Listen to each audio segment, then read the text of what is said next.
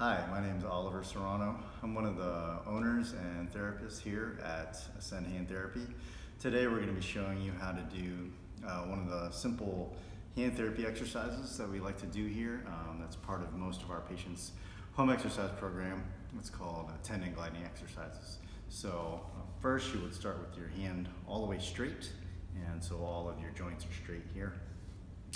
Then you move into what's called a hook fist. So you're gonna curl just the tips of your fingers. So that's this joint and that joint, and this back joint is staying all the way straight. Then you go back to a straight hand.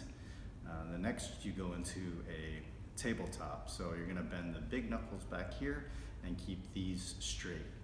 And then you go back to a straight hand. Then next we're gonna make a full fist. So here we're going to close all three knuckles. So that's one, two, and three. Try to get them really tucked underneath there. Then you go back to a straight hand. Then the last one we're gonna do is called a straight fist or a flat fist, where it's basically you're trying to reach down and touch your wrist here with your fingers. So kind of like this. Then you go back to a straight hand.